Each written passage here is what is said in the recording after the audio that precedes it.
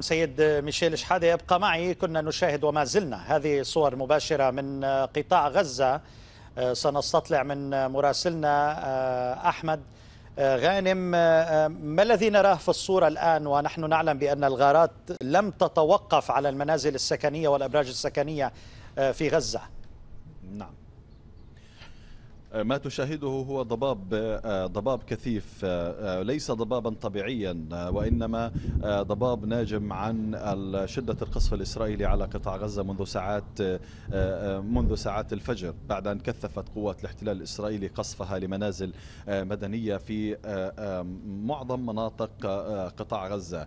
القصف الإسرائيلي ما يزال متواصلا فعلا وقد أغارت الطائرات الحربية على منازل خمسة من قادة حركة حماس وهم كمال أبو عون وعصام الدعليس وأبو معاذ السراج ونزار عوض الله. وأيضا دمرت الآن قصف الآن الآن استهداف برج الكحلوت في العكلوك عفوا استهداف برج العكلوك في منطقة حي النصر في مدينة غزة. إذا الطائرات الحربية الإسرائيلية تغير الآن على برج العكلوك. في مدينة غزة.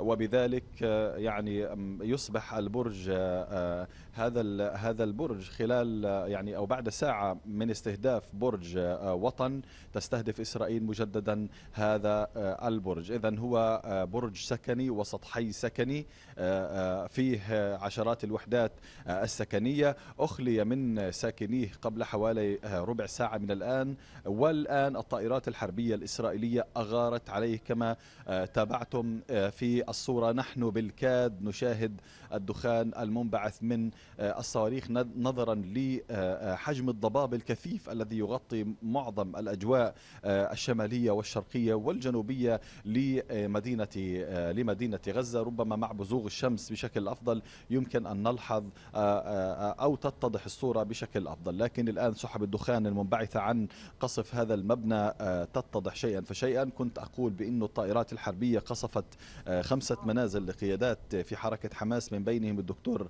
منزل الدكتور محمود طبعا محمود الزهار.